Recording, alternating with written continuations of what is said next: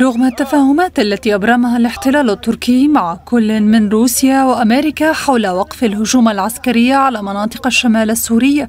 إلا أن جيش الاحتلال التركي والفصائل الإرهابية التابعة له لا يزالون يواصلون انتهاكاتهم بحق أهل المنطقة. ففي ريف عين عيسى شمالي الرقة قصفت طائرات الاحتلال التركي المسيرة قرية صيدا عند مخيم عين عيسى ما أسفر عن إصابة ثلاثة مدنيين بجروح. وإلى الشرق من عين عيسى شن الاحتلال التركي والفصائل الإرهابية التابعة له والمتمركزين في قرية الكفيفة هجوما بالصواريخ على صوامع قرية قزعلي بريفة الأبيض